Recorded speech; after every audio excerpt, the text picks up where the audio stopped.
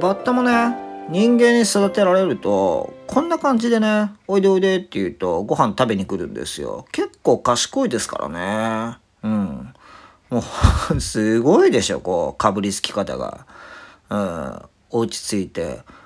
あの野生のバッタだったらさ、まあ、こんなことやったらピョーンって飛んでパタパタパタって飛んでっちゃうじゃないですか。人間に育てられるとこのようにねもう警戒心がゼロ。うん。で両手を上手に使ってこのようにねむしゃむしゃと食べるわけですよ。うんかわいいですよねよく見ると。どうですか？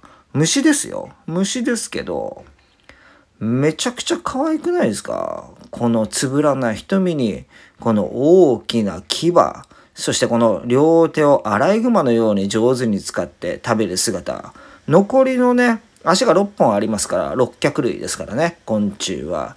他はまあ体を安定させながらこの手をね上手に使ってねあの手首もこう反るんですよね。だからね結構いろんな角度でご飯食べれるんですよね。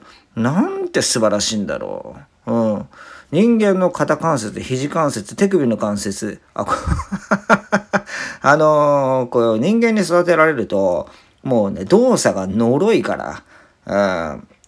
機敏じゃないのね。やっぱりもう餌を自分で探さなくていいからさ、サイズ的にはこんな感じ。こっちが黒熊の手袋で、こちらが、まあバッタのヨシコ。うん。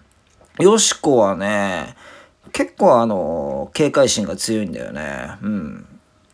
あーっと落としちゃった。落としちゃった、落としちゃった。動揺しておりますね。大丈夫、大丈夫。ほら。はい、新しいご飯ですよ。今度は落とさないようにね。ちゃんとね、手で掴んでないから落ちちゃうんだよ。いろんなところにね、あの、気が散っちゃうんだよね。うん、やっぱり、ご飯の時は集中しなきゃダメですよ。うん。そうそうそうそう。こうやってちゃんと掴んで、そうそうそうそうそう。上手上手。うん。あのー、バッタさんはここで呼吸するんですよ。だから顔が水に浸かっても大丈夫なんですね。うん。この後ろだから、こっち水につけちゃったら窒息死しますからね。危ないから気をつけてね。はい。ご飯食べてる時はおとなしい。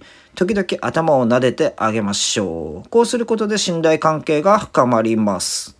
お食事の後はやっぱり歯ブラシですよ。うん。自然界だとやっぱり葉っぱじゃないですか。葉っぱだったら大丈夫なんだけど、あの、人間界で育ったバッタはですね、ちょっと甘みのあるご飯を食べますので、やはり歯が汚れるんですよね。うん。人間と一緒に暮らしてますから。はい。